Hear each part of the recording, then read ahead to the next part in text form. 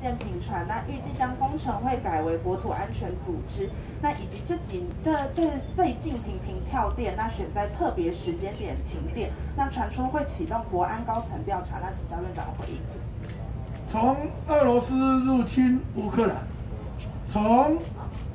桃园机场竟然有人用这个老这个减油压减去减电缆，可见无论是战时或平时，国家重要基础设施、民生重要设施，确实有防备而且加强的必要。至于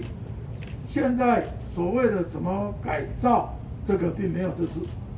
那再来是东森三立跟台视要询问，瑞典学术机构指出，台湾是接受境外假讯息最频繁的国家，那会不会担心假讯息影响年底选举？以及网络上有一张图卡，放上正副总统以及院长的照片，那上面写说乌克兰公务员和民代逃跑，那影射说院影射说上述的执政哎政治人物也会逃跑，那院长怎么看这个假讯息？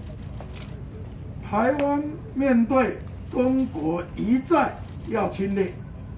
世界各国都看到，在第一线的台湾，面对这一种假信息的攻击，防备的很好。所以，在我接见欧洲议会访团后，其他国家访团时，他们都在在肯定台湾这一点，并愿意来交换经验。至于所谓绕跑，不值一驳。谢谢。